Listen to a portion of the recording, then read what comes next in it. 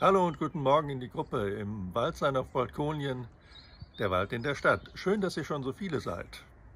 Ähm, ich muss mir mal heute raussuchen, welche der Übungen ich heute mache. Ähm, kenne ja fast alle. Und äh, heute werde ich Morgenstund mit Liegestütz versuchen.